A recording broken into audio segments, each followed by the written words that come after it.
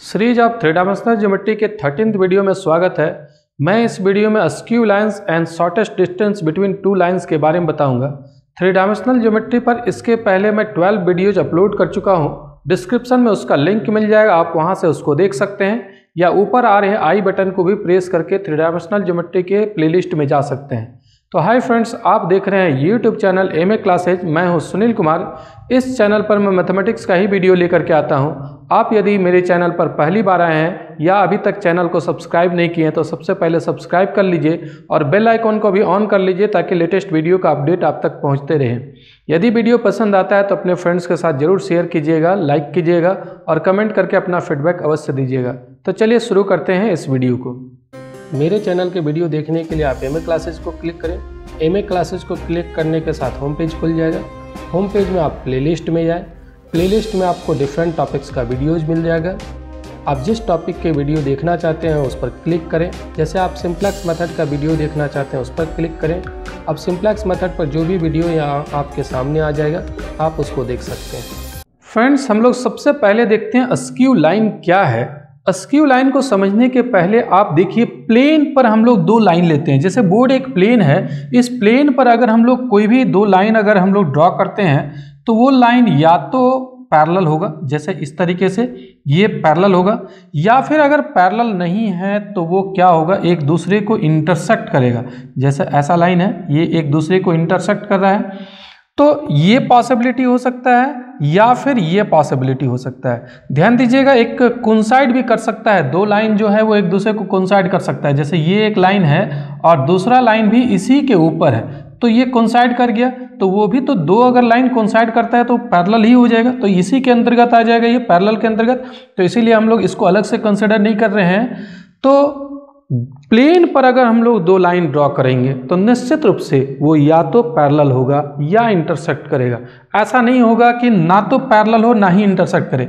जैसे आप अगर सोच रहे होंगे कि एक लाइन ऐसा हम लोग ले लें और एक लाइन ऐसा ले लें तो ये ना तो पैरेलल है और ना ही इंटरसेक्ट कर रहा है, लेकिन गलत है। आप देखिए, ये लाइन है तो लाइन है तो ये कहाँ तक जाएगा? इन्फिनिटी तक इधर भी जा रहा है, इधर भी इन्फिनिटी तक। ये भी लाइन है तो लाइन तो आगे तक जाता है। ये इन्फिनिटी तक जाएगा लाइन सेगमेंट नहीं है, मैं लाइन की बात कर रहा हूँ तो ये इन्फिनिटी तक जाएगा। तो इधर भी जब आगे बढ़ेगा और ये भी आगे बढ़ेगा तो कहीं ना कहीं तो इंटरसेक्ट करेगा ना। जब इसको हम लोग आगे बढ़ाएँगे और ये भी आगे बढ़ाएँगे तो निश्चित रूप से ये कहीं ना कहीं इंटरसेक्ट करेगा। तो निश्चित रूप से प्लेन पर अगर हम लोग दो लाइन लेते हैं तो वो निश्चित रूप से या तो इंटरसेक्ट करेगा और अगर इंटरसेक्ट नहीं करता है तो निश्चित रूप से वो क्या होगा? पैरल होगा। तो यही दो पॉसिबिलिटी है प्लेन पर अगर हम लोग लाइन लेते हैं तो। लेकिन स्पेस में एक और पॉसिबिलिटी है स्पेस में जो दो लाइन लेंगे, वो या तो पैरेलल होगा, या इंटरसेक्ट करेगा, या फिर ना तो इंटरसेक्ट करेगा, ना ही पैरेलल होगा। तो अगर कोई दो लाइन स्पेस में ऐसा हो जो ना तो इंटरसेक्ट करे और ना ही पैरेलल हो, वैसे लाइन को हम लोग अस्क्यू लाइन कहते हैं, कैसे ये पॉसिबल होगा जरा इसके बारे में समझिए। ये देखिए हम लोग एक क्यूब लिए हुए हैं और क्यूब का जो ऊपर का सरफेस है, उस फेस में हम लोग दो पॉइंट को मिलाए हैं, एक डायगोनल बनाए हैं ऊपर वाले फेस का और नीचे वाले फेस में भी हम लोग दो पॉइंट को मिला दिए हैं और एक डायगोनल बनाए हैं। तो ये दोनों लाइन के बारे में तो समझिए, जो ब्लैक कलर का लाइन है तो इस लाइन के बारे में देखिए कि ये लाइन ना तो कभी इंटरसेक्ट करेगा और ना ही कभी वो पैरेलल है। ये दोनों लाइन जो है वो ना तो पैरेलल है, आप देख पा रहे होंगे कि ये पैरेलल भी नहीं है और ये इंटरसेक्ट भी नहीं करेगा क्योंकि एक ऊपर वाले सरफेस से जा रहा है और एक नीचे वाले सरफेस से जा रहा है। तो ये कभी भी इंटरसेक्ट नहीं करेगा और ना ही ये पैरेलल है। तो ऐसे लाइन को ही हम लोग क्या कहते हैं? स्क्यू लाइन कहते हैं। आप देख रहे हैं ये। ये दोनों लाइन जो है वो ना तो पैरेलल है और ना ही इंटरसेक्ट कर रहा है। तो ऐसे लाइन को ही हम लोग कहते हैं स्क्यू लाइन। तो थ्री स्पेस में अगर हम लोग दो लाइन ले लें, जैसे आप ये देखिए, ये दोनों लाइन, ये ना तो पैरेलल है और ना ही इंटरसेक्ट कर रहा है। ये नीचे से गया है और ये इसके ऊपर से जा रहा है। तो कभी भी इंटरसेक्ट नहीं करेगा। ये नीचे से क्रॉस कर गया, ये ऊपर से जा रहा है तो कभी भी इंटरसेक्ट नहीं करेगा। ऐसे लाइन को ही हम लोग अस्क्यू लाइन कहेंगे। अगर ये ऐसा हो जाए ये आप देख पा रहे होंगे कि ये अगर ऐसा हो जाए तो ये ऐसा हो जाएगा तो ये पैरल हो गया। आप देखिए, इसको ये पैरल हो गया और ये एक प्लेन पर आ जाएगा।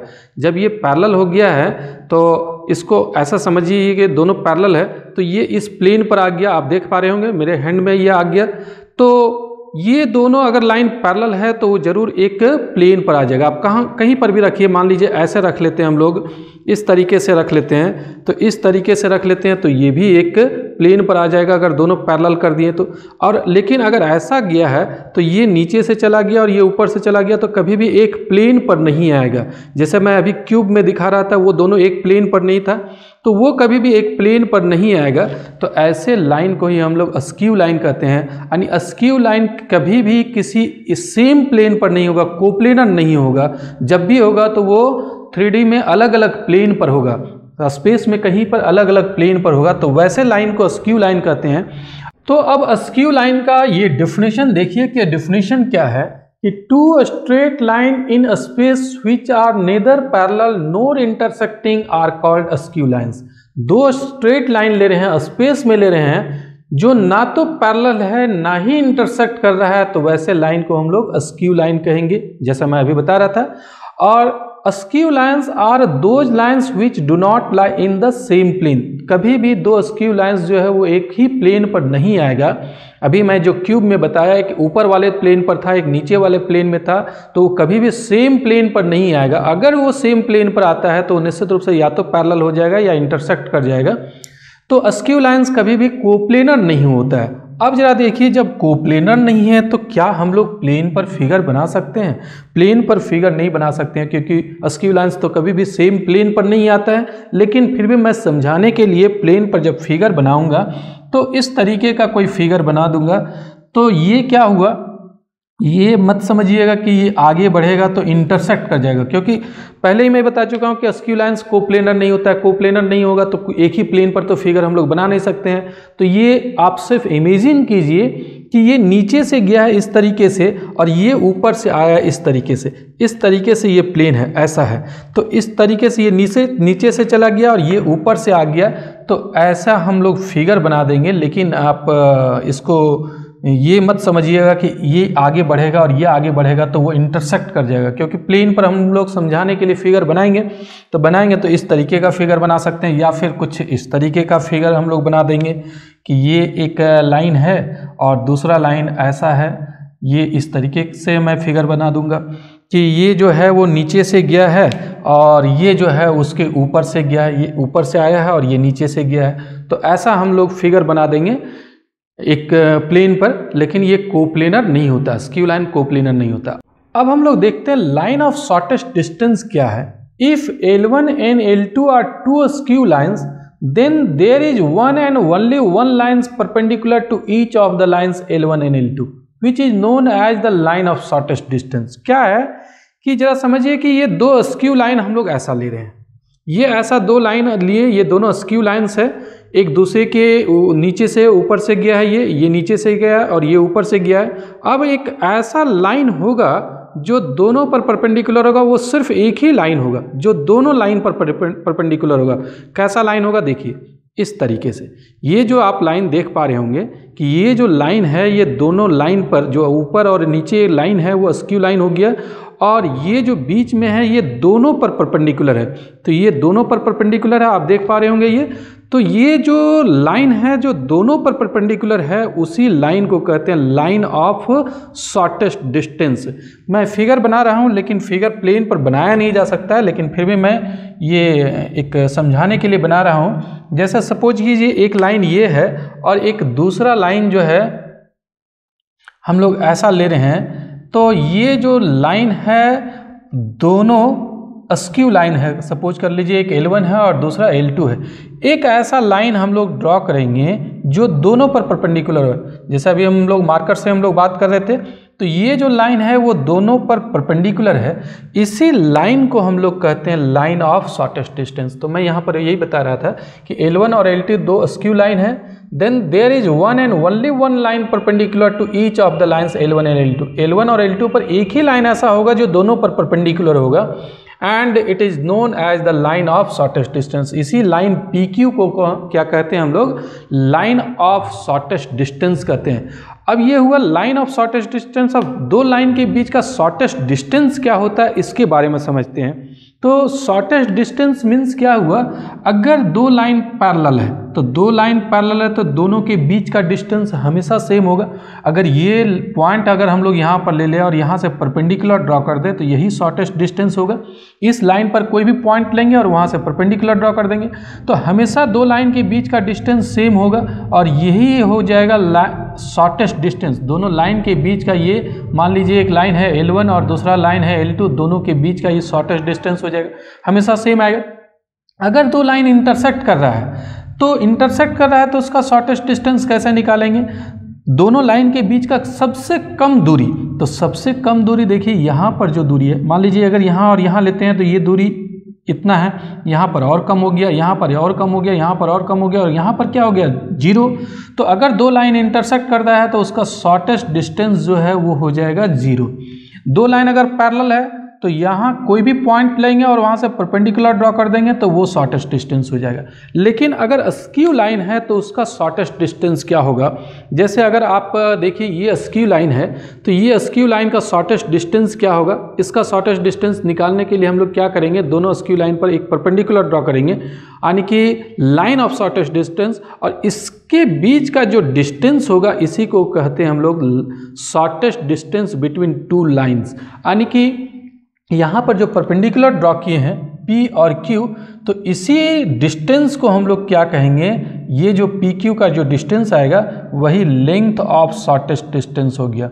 शॉर्टेस्ट डिस्टेंस का ये लेंथ निकल गया, या इसको कह सकते हैं आप shortest distance between two lines L1 and L2 तो यहाँ पर हम लोग पढ़ेंगे कि अगर दो लाइन का वेक्टर इक्वेशन या कार्टेजन इक्वेशन दिया हुआ है तो ये शॉर्टेस्ट डिस्टेंस कैसे निकालते हैं? लाइन का अगर वेक्टर इक्वेशन दिया हुआ है या कार्टेजन इक्वेशन तो ये शॉर्टेस्ट डिस्टेंस निकालते कैसे? क्या निकालने का तरीका है? तो चलिए उसका फॉर्मूला हम लोग पहले देखते हैं।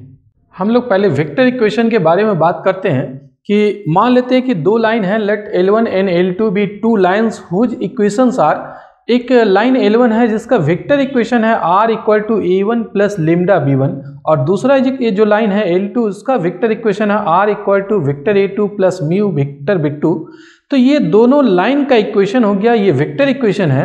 अब ये यहाँ पर जरा समझिए कि अगर लाइन का equation R equal to A plus lambda B अगर है तो ये क्या बता रहा है? जैसा समझिए, ये जो लाइन होता है, वो एक फिक्स्ड पॉइंट से पास करता है, जिसका पोजीशन वेक्टर ए होता है, और ये वेक्टर बी के पैरेलल होता है, ये वेक्टर बी के पैरेलल होता है।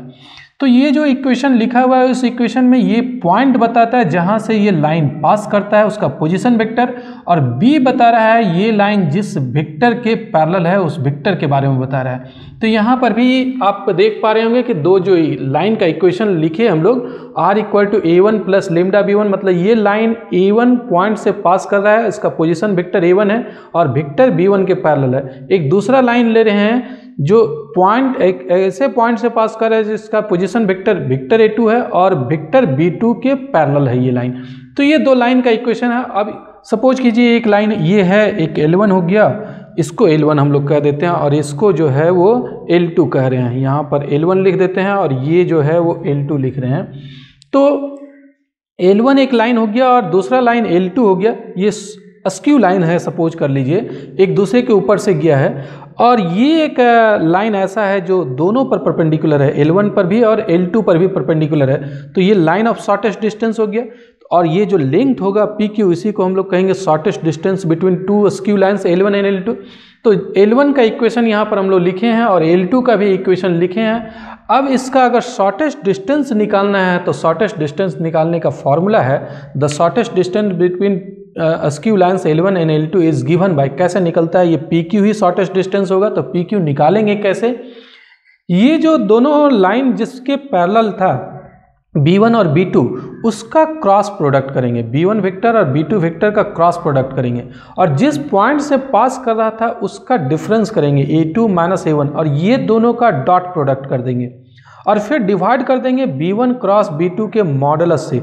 और फिर इसका मॉड ले लेंगे मीन्स यहाँ पर पॉजिटिव वैल्यू जो भी वैल्यू आएगा, अगर नेगेटिव आता है तो नेगेटिव नहीं देंगे, हम लोग पॉजिटिव कर देंगे। मॉडल मॉडलस है तो इसका मतलब इसका पॉजिटिव वैल्यू बना देंगे। अगर नेगेटिव आता भी है तो पॉजिटिव बना देंगे। तो ये जो फार्मूला इस फॉर्मूला का यूज़ करके हम लोग शॉर्टेस्ट डिस्टेंस निकाल सकते हैं। बड़ा आसानी से निकल जाता है, कोई विशेष प्रॉब्लम नहीं है इसमें।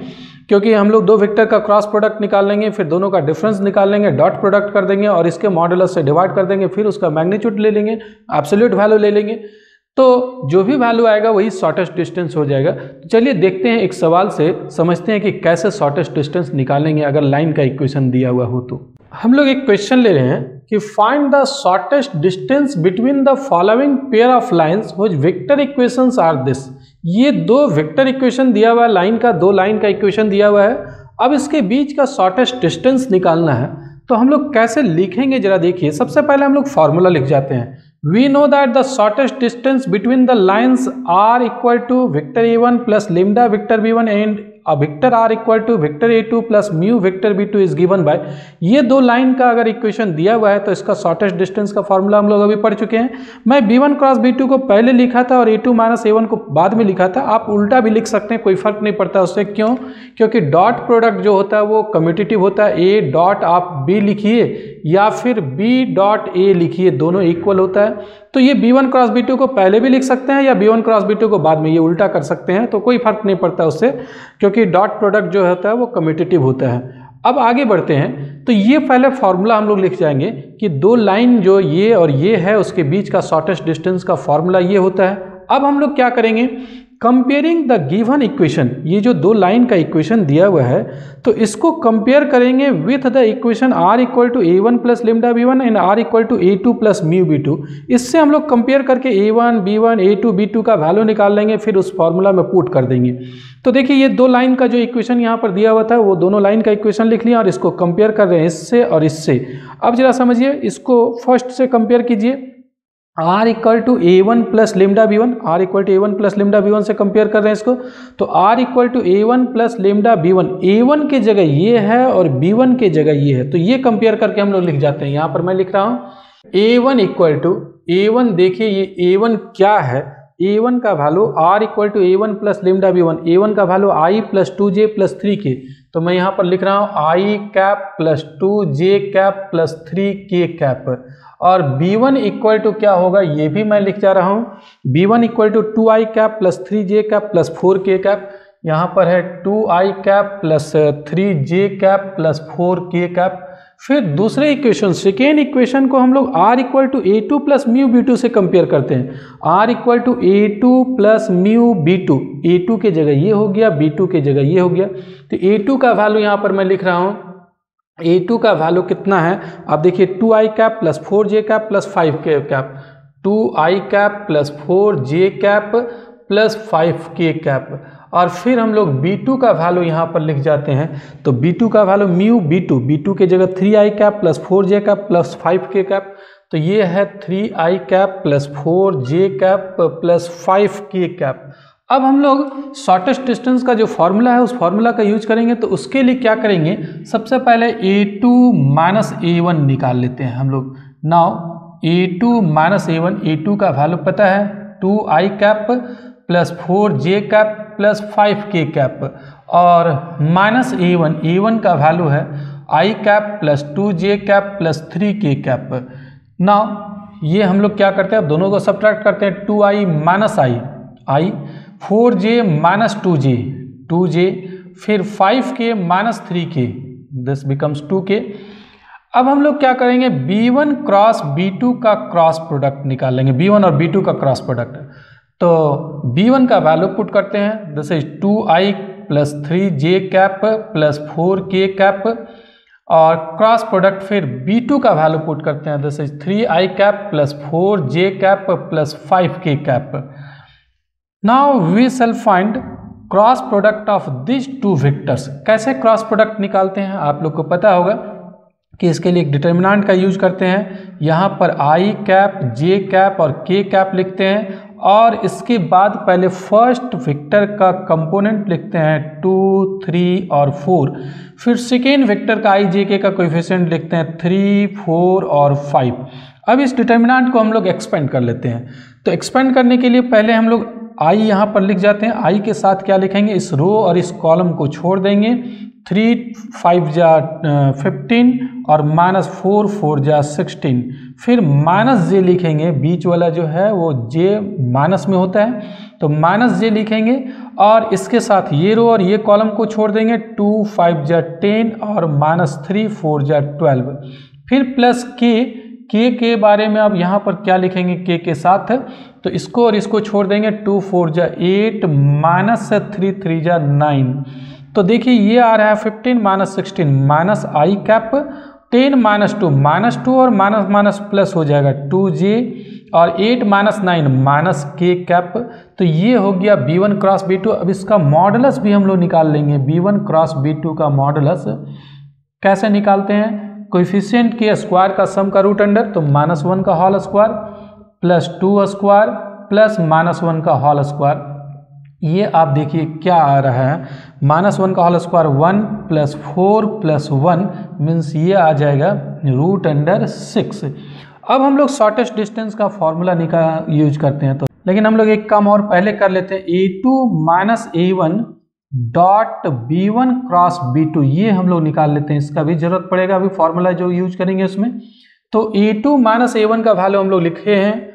I cap plus two J cap plus two K cap dot फिर B one cross B two का वैल्यू भी निकाल के रखे हुए हैं। Minus I cap plus two J cap minus K cap अब ये दोनों का cross product sorry dot product कर रहे हैं। तो डॉट प्रोडक्ट के लिए वन को माइनस वन से मल्टीप्लाई करेंगे तो माइनस वन आएगा। टू को टू से मल्टीप्लाई करेंगे तो फोर आएगा और टू को फिर माइनस वन से करेंगे तो माइनस टू आएगा। तो ये क्या आ गया? फोर माइनस थ्री यानी कि वन आ गया। अब हम लोग शॉर्टेस्ट डिस्टेंस निकाल लेंगे। तो शॉर्टेस्ट डिस्टेंस के लिए देखिए, यहाँ पर मैं लिख रहा हूँ। तो अब हम लोग लिखेंगे therefore shortest distance equal to क्या फॉर्मूला होता है? Mod of B one sorry A two minus A one A two minus A one dot B one cross B two और divided by mod of B one cross mod of B two ये हो गया। अब इस formula में put कर देंगे तो ऊपर का वैल्यू निकाल के रखे हुए इसका वैल्यू वन है और इसका वैल्यू भी निकाल के रखे हुए mod of B one cross B two का वैल्यू भी निकाल के रखे हुए हैं रूट अंडर सिक्स है और इसका फिर मॉडलस यानी ये आ रहा है one by root under six तो इस तरीके से अगर विक्टर इक्वेशन दिया हुआ रहे तो हम लोग दो लाइन के बीच का शॉर्टेस्ट डिस्टेंस निकाल सकते हैं। तो फ्रेंड्स, एक कार्टिजियन इक्वेशन अगर दिया हुआ रहता है तो भी हम लोग कैसे निकालते हैं, उसके बारे में मैं नेक्स्ट वीडियो में बताऊँगा।